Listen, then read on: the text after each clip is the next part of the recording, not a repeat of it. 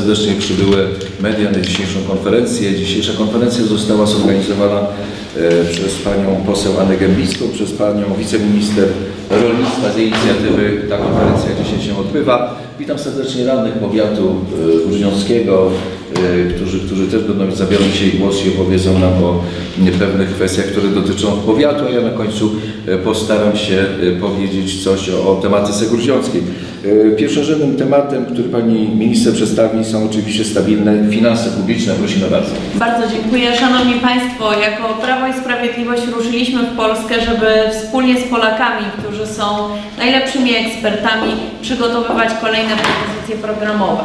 Dla nas najważniejsze jest zdanie Polaków, a nie na przykład zagranicznych ekspertów, tak jak e, przy e, poprzednich rządach, na przykład za czasów pana Walcerowicza, kiedy tym ekspertem był pan Sachs, który doradzał, e, żeby e, wyprzedawać polski majątek, czy tak jak e, pan Timmermans, który do, doradza, żeby e, niszczyć rolnictwo, żeby e, promować tą agendę klimatyczną kosztem e, funkcjonowania e, Europejczyków. Naszymi, naszymi ekspertami są Polacy. Chcemy rozmawiać z Polakami właśnie o tych propozycjach programowych, o tym, co jeszcze można zrobić, co można zmienić, co można poprawić. Wiemy dobrze, że sytuacja się zmieniła, bo e, od czasu wybuchu wojny na Ukrainie, od czasu pojawienia się pandemii koronawirusa, tak naprawdę wiele rzeczy uległo zmianie. E, zmieniły się także potrzeby i my chcemy tych potrzeb wysłuchać, ale żeby zbudować konkretne propozycje programowe, potrzebne jest zapewnienie dla nich finansowania. Bo bez finansowania oczywiście można opowiadać o różnych rzeczach, ale trudno jest je zrealizować. E, My wiemy, jak zadbać o finanse publiczne. Pokazywaliśmy to już wielokrotnie. Przypomnę, że kiedy w 2015 roku jako Prawo i Sprawiedliwość proponowaliśmy wprowadzenie programów społecznych, takich jak chociażby 500, to słyszeliśmy, że pieniędzy nie ma i nie będzie, że one są gdzieś tam zakopane, nikt nie wie gdzie. No my znaleźliśmy, gdzie te pieniądze były zakopane. One były zakopane w kieszeniach mafii VAT-owskich, one były zakopane w kieszeniach wielkich firm, które wyprowadzały należne podatki za granicę. My to zmieniliśmy. Zaczęliśmy od uszczelnienia systemu podatkowego i to widać bardzo dobrze chociażby na danych dotyczących e, wpływów z podatku VAT który, które za czasów Platformy Obywatelskiej wynosiły 123 miliardy złotych, za naszych czasów 230 miliardów złotych i to bez podnoszenia VAT-u, wręcz przy obniżeniu stawek na niektóre artykuły, chociażby artykuły dziecięce. Bardzo dobrze to widać także chociażby na przykładzie wpływów z podatku CIT, czyli podatku właśnie od tych dużych firm. E, tutaj e, także te wpływy znacząco się zwiększyły z około 32 miliardów złotych na e, 85 miliardów złotych. W tym roku przewidujemy, że może to być nawet 95 miliardów złotych. Jednocześnie obniżyliśmy podatek CIT dla tych mniejszych podmiotów do 9%. To są konkretne zmiany, które wprowadziliśmy, ale te konkretne zmiany to nie są tylko duże liczby. Bo o dużych liczbach ładnie się mówi, ale przy, przy, warto to pokazać na konkretach. To są realne programy, które zostały wprowadzone. To jest chociażby program 500, 300.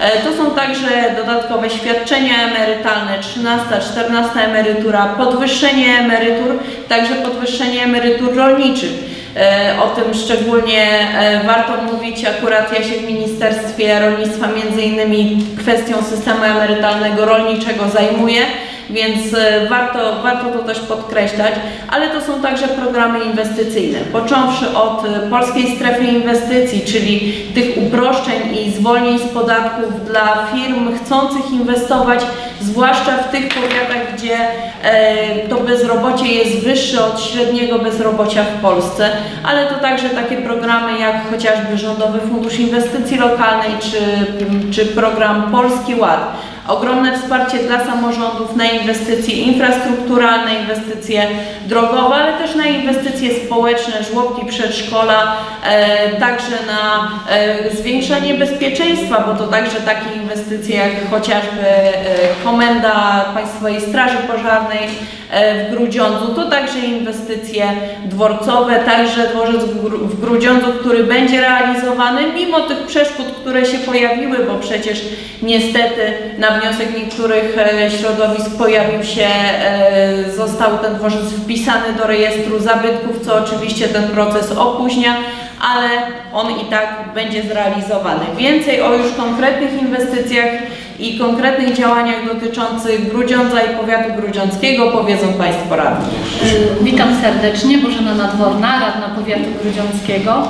E, Pomoc rządowa, jaka popłynęła na powiaty, pokazuje nam, jak wiele y, pomogła rozwinąć się małym gminom. To jest, to jest nieoceniona pomoc dla właśnie takich e, gmin, które, które nie miały szansy się rozwijać. Dzięki nim zbudowaliśmy drogi, połączyliśmy między, e, się między gminami, między miastami. To jest bardzo duża pomoc, za którą powinniśmy być wdzięczni i dziękujemy. Dziękujemy, że mamy to, e, te dotacje, możemy działać na rzecz e, mieszkańców, e, odpowiadać pozytywnie na ich potrzeby.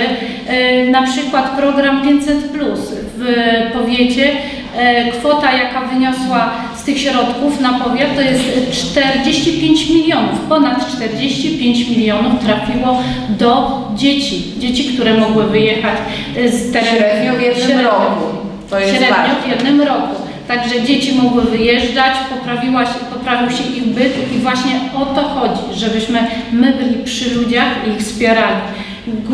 Teraz następną taką dużą inwestycją e, rządową jest na przykład targowisko, które łączy cały powiat i nie tylko powiat. Pokazuje jaką ważną częścią dla Grudziądza i dla powiatu właśnie ma tutaj e, ta jednostka. Więcej może przybliżyć tutaj właśnie radny Tomasz Kaliszewski. Tomasz Kaliszewski, radny powiatu z regionu e, Gruta Górno. E, Proszę Państwa, inwestycje rządowe w nasz powiat i w miasto Grudziądz e, od 2015 roku mm, to są inwestycje na skalę niespotykaną w ostatnim dziesięcioleciu przynajmniej lub dwóch dekadach. Nasze fundusze z RDS-u, które rząd przeznaczył na rozbudowę dróg wiejskich i miejskich, to jest kilkadziesiąt milionów złotych w samym powiecie. Yy, Ponadto fundusze z yy, Nowego Ładu, które także pozwoliły rozwinąć yy, niektóre inwestycje w powiecie i mieście Grudziądz. Jedną z takich sztandarowych będzie właśnie Giełda Grudziącka, która otrzymała na swój rozwój 22 miliony złotych. Pieniążki te leżą do dyspozycji. Aktualnie Zarząd Miasta przygotowuje inwestycje, chociaż mm, niektórzy się martwią, że idzie to opieszale, troszeczkę za wolno, bo pieniądze leżą, jak to się mówi, w banku yy, do wydania, a rząd, na, yy, Zarząd Miasta nie korzysta z nich na razie. Ale miejmy nadzieję, że wiosną ruszy inwestycja i, i będzie, jak to się mówi, trwała. Ponadto budowa Straży Pożarnej, która aktualnie już jest w toku i, i widzimy, jak, jak ładnie się realizuje. To wszystko y, sprawia, że nasze miasto może się rozwijać z tych nowych funduszy, które rząd y, uruchomił. Y, Ulice, które powstają z RTS-u, z, z tych programów y, lokalnych, y, także pokazują mieszkańcom, że rozwój y, następuje. Y, Proszę Państwa, mało tego, y, samorządy lokalne już niektóre podpisywały swoje budżety. Y, Trzeci nabór Nowego Ładu, który zasadniczo rząd jeszcze nie ogłosił, ale samorządy już są pewne, że rząd zrealizuje ten trzeci nabór Nowego Ładu, który zasadniczo jeszcze nie jest ogłoszony, no, trwają dyskusje nad nim, ale na przykład nasz starosta Grudziącki, zarząd powiatu grudziąckiego wpisał już te środki do budżetu. Także jesteśmy pewni, że rząd, znaczy, no, mamy nadzieję, że rząd zrealizuje te y, marzenia samorządów o takim trzecim y, nowym ładzie. Y, Mam nadzieję, że nastąpi tej wiosny. Będą to informacje, jak się mówi, korzystne dla wszystkich samorządów. Y, Proszę Państwa, y, jest też, też taka troszeczkę y, niesmaczna sytuacja, że niektórzy radni, kiedyś była konferencja radnych powiatu grudziąckiego, y, miasta Grudziądz, narzekają, że rząd zabrał im środki na rozwój, gdyż obniżył podatki dla mieszkańców. No jest, dla mnie to jest niezrozumiałe takie narzekanie, dlatego że rząd po prostu dał pieniądze mieszkańcom, nie, za, nie pobrał podatków, aby oni wiedzieli sami, na co mają przeznaczyć te swoje środki. Bo wiadomo, że e, podatki pobrane przez rząd i przesłane do samorządów już nie zawsze e, są lokowane w, sposób właściwy, nie zawsze zgodnie z oczekiwaniami mieszkańców. Także obniżenie podatku do 12% dochodowego y, uważam za, za, za celowe i y, w ten sposób rząd pozostawił więcej pieniędzy w kieszeniach Polaków i to jest właściwe. Szanowni Państwo, dlaczego dzisiaj mówimy o tym, co y, uzyskaliśmy, jakie pomocy uzyskaliśmy od rządu Grudziądz, jaką pomoc, jaką pomoc uzyskał powiat grudziącki? No z tego względu, że padają notoryczne oskarżenia praktycznie na każdej sesji Rady Miejskiej. Na każdej sesji Rady Miejskiej y, padają notoryczne oskarżenia rządu polskiego, że rząd pozbawia dzisiaj samorząd Grudziądza środków. Oczywiście gdybyśmy dokonali pewnej oceny takiej rzetelnej w oparciu o pewne fakty, proszę Państwa, to to wypada zupełnie odwrotnie. Ten bilans oczywiście jest na korzyść, zdecydowanie na korzyść miasta. E, Te gigantyczne sumy, które wpłynęły nie tylko w postaci 500, bo tu mówimy o 88 milionach rocznie, które otrzymały w jednym roku tylko grudziąckie rodziny, e, no tworzą, tworzą całe koło bezpieczeństwa dla e, funkcjonowania podstawowego e, grudziąckich rodzin. To jest rzecz najważniejsza. Gdybyśmy mówili o inwestycjach drogowych, które powstały, wszystkie łączniki w mieście, wszystkie główne drogi narządzą, to jest 10 milionów, łączniki po kilka milionów złotych. Tutaj wspomniana też budowa hali targowej za 23 miliony złotych. To są potężne inwestycje.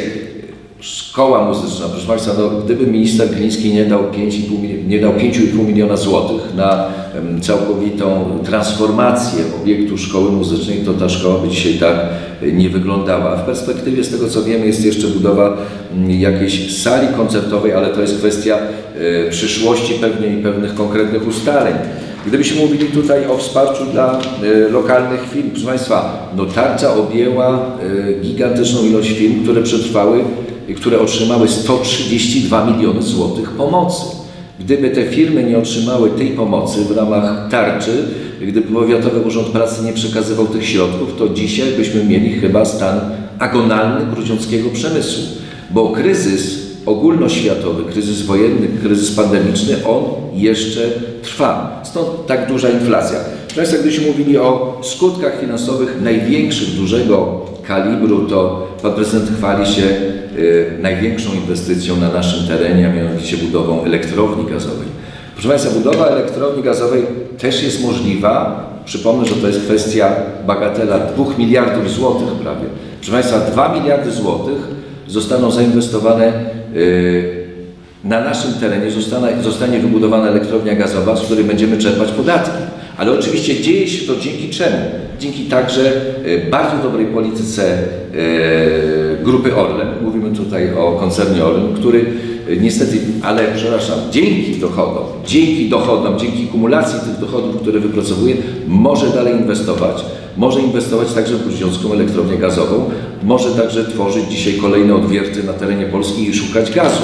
Te inwestycje się dzieją dzięki mm, tej dużej koncentracji w przemyśle e, właśnie przy pomocy tej gigantycznej spółki, której, której dzisiaj notowania są e, odnotowywane e, na rynku ogólnoświatowym, która stała się no, potentatem. A my z tego będziemy także korzystali jako miasto Grudziądz.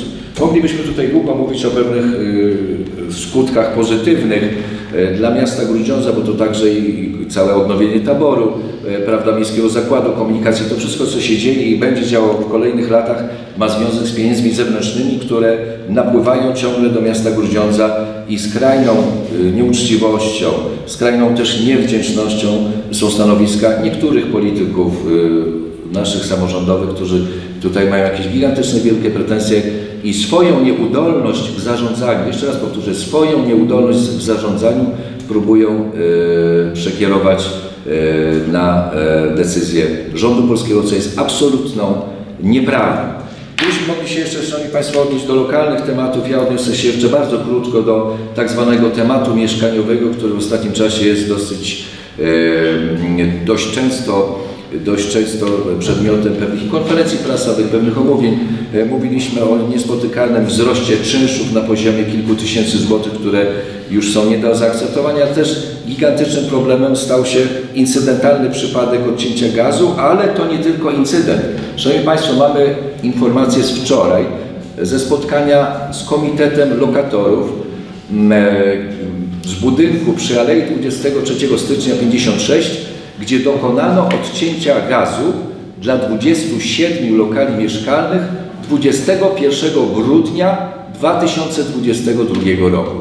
Proszę Państwa, od kilku miesięcy, praktycznie 4 miesiące już prawie e, będą, będą dobiegały, kiedy ci mieszkańcy są pozbawieni dopływu gazu. Oczywiście mieliśmy do czynienia tam e, z pewną awarią techniczną, z pewną nieszczelnością, ale e, stawiamy pytanie, jak długo może trwać etap realizowania, przygotowania pro, projektu i realizowania takiej inwestycji. Czy musi to trwać miesiącami, czy można realizować to aż 4 miesiące?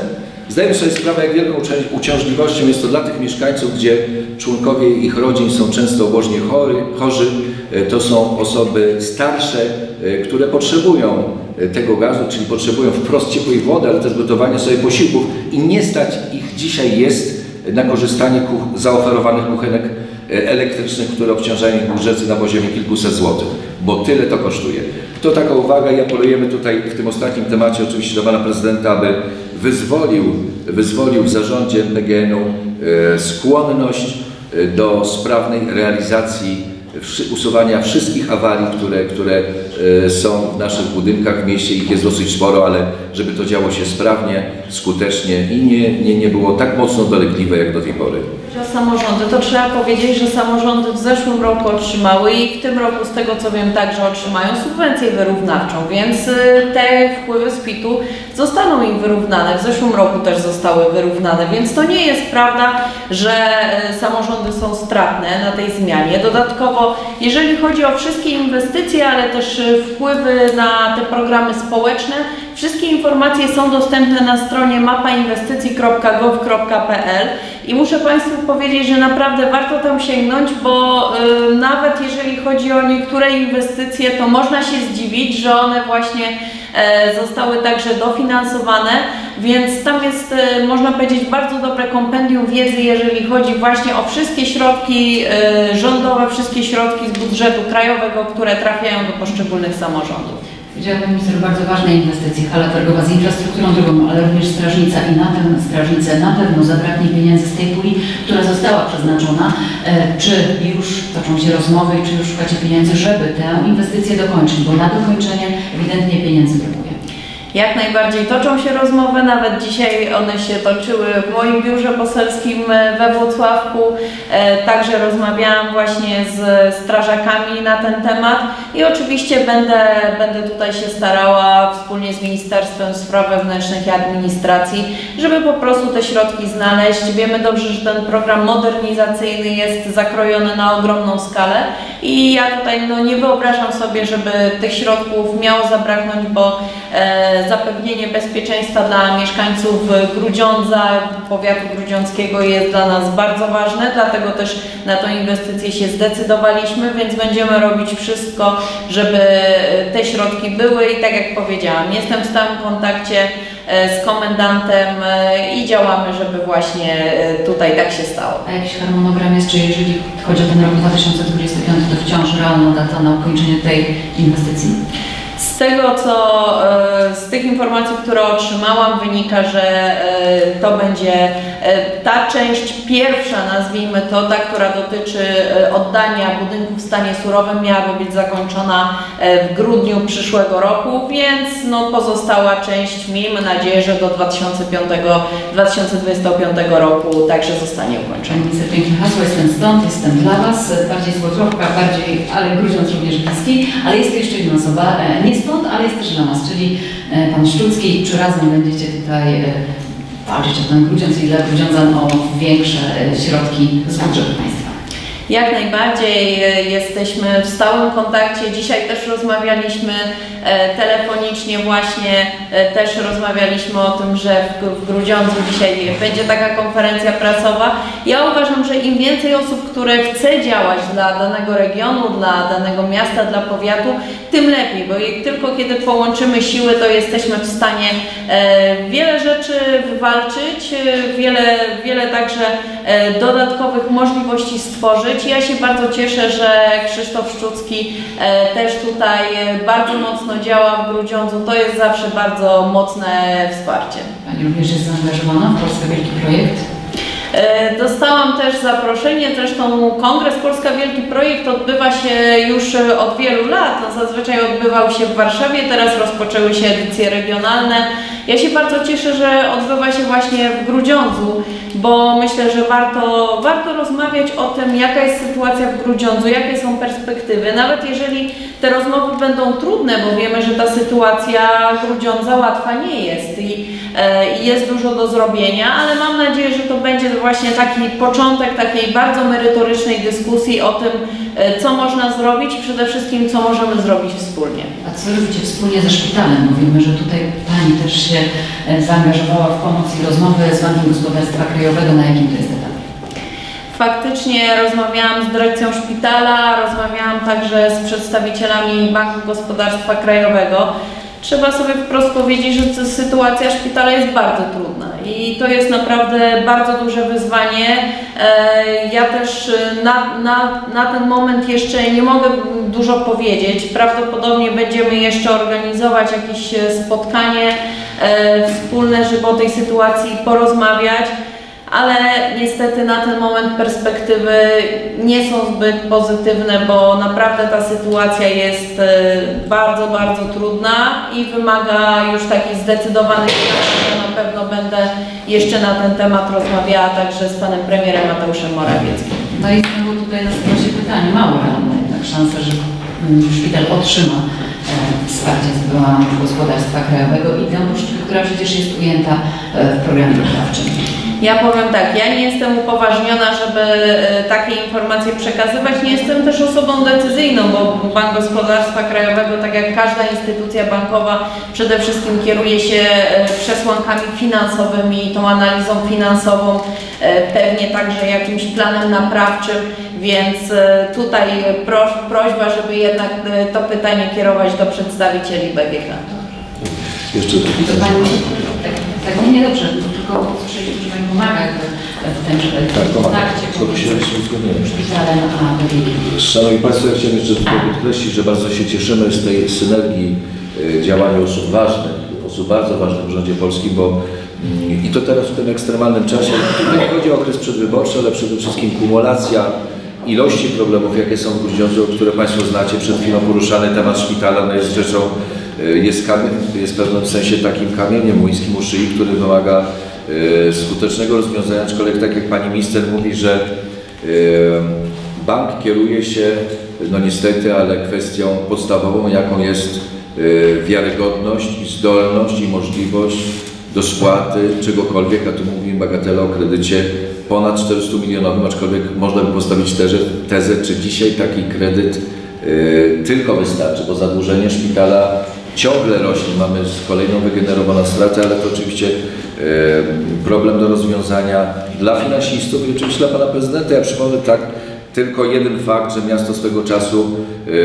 odrzuciło program naprawczy własny, czyli program naprawczy miasta, który był relatywnie spójny z programem naprawczym szpitala i który powinien być też realizowany po to, ażeby zmienić sytuację finansową szpitala. No niestety tu pan prezydent zaniechał y, tą kwestię i mamy dzisiaj skutki takie, jakie mamy, że zadłużenie szpitala rośnie w dalszym y, ciągu.